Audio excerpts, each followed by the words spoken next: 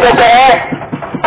पानी में लगातार जलस्तर में बढ़ाव हो रहा है। पानी के जलस्तर में लगातार बढ़ रही है गंगा जी।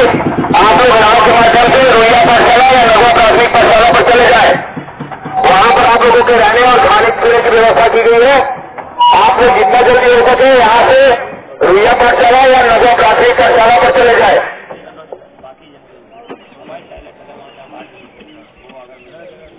और ये क्या लगा दें back.